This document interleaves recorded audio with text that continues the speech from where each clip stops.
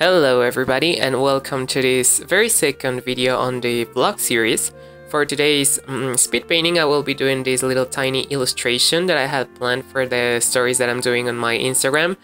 And the concept behind this is that I wanted to make something, uh, an illustration that communicated um, a little bit of innocence and also to represent like someone's humanity. And that's because I'm I usually just do portraits or the like the character of the of the piece of the story that I that I'm developing. But as of late, I thought that it would be a neat idea to include a little bit more of narrative in my art because I feel like that can add so much more interest to your pieces. I mean, you can really tell as a as a spectator and as an artist when someone has a bit of a backstory behind their pieces, even if it's not as obvious as you might think it is. And I feel like that's something that's been missing from my pieces for a, quite a while now. And so, uh, in order to fix that, or in hopes of fixing that, I decided to do a bit more of a concept development for this piece.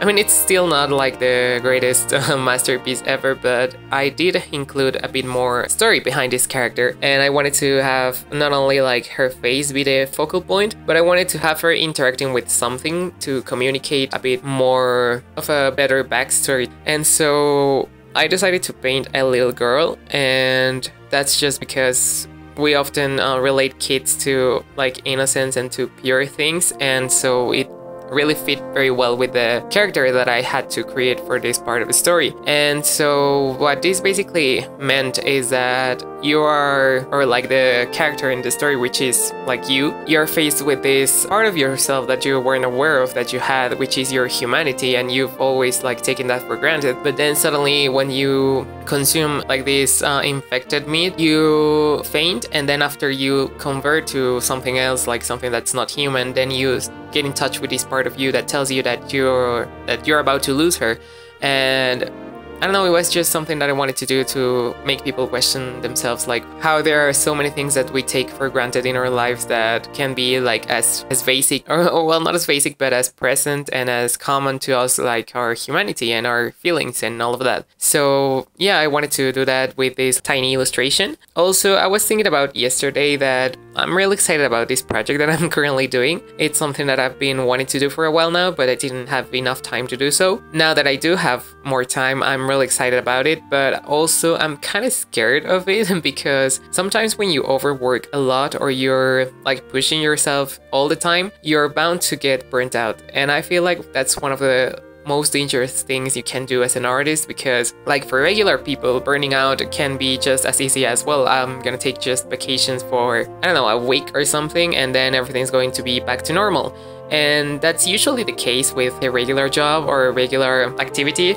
but when it comes to art and something that involves your creativity. I mean, not just art, but also it could be, uh, I don't know, crafts, for example, or something that you have to put your creativity into, then it becomes a bit harder because you have to remember not to blame yourself, that it's not your fault that you can't produce good work, because that's something that usually happens when you burn out. You usually start producing work that you are not happy with, and you start seeing all the mistakes that you did and start forgetting about the things that you did right, and you think that you are getting worse instead of improving. And I feel like sometimes burning out can be a level up kind of thing. Like, for example, when you're not very happy with the things that you're producing, I feel like that's when you're about to to get like a big leap of improvement because that means that you're not happy with your with your current skills and that you're in the transition of going from like something that you don't like to something that you probably will enjoy better. I feel like burning out is an essential part of being a creative person and you have to learn to deal with that. But there are grades to it and so you have to really try not to get super burnt out because if you do so then you can fall into depression and all of this stuff and then add that to like your personal life also has an influence in your in your professional life. And for example if you're not doing very hot in your paintings or in your drawings and then on top of that your personal life is also going through a rough time then you can easily fall into a spiral of negative thoughts. And that's something that I really want to avoid. But also I feel like if I stop producing these videos or if I were to stop or if I were to to like burn out and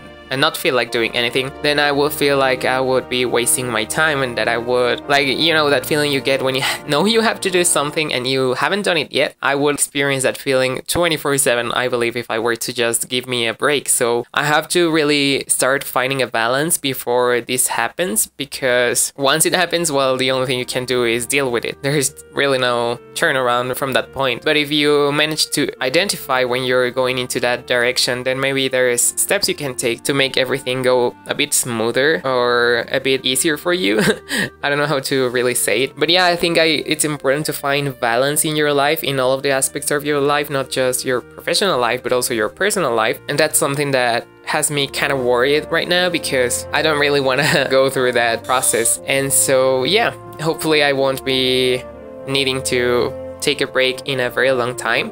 What I'm planning to do is to like give myself time during the weekends to have them like free because that's the time when I usually hang out with my family and with some friends. So I feel like that's a very important and part of everyone's life to have social interaction and we as artists can sometimes forget about this and really isolate ourselves from the rest of the people. So in hopes of avoiding this burnout uh, phase, I will try to just leave some days to rest and to recover like my creative juices and everything and to fill up with ideas. And then um, after that, I will just keep on grinding. Even if I have to do like two videos a day, I think that's better than, than doing one a day and then not having any free time to do whatever I please. So, so yeah, we're getting to the end of this video and I hope you enjoy it and if you did then please do leave a like down below and a comment telling me if you've ever experienced this burnt out feeling and also if you want to check like behind the scenes shots of my work then you can totally go and check my social media. I'll leave all the links down below and yeah I'll see you tomorrow.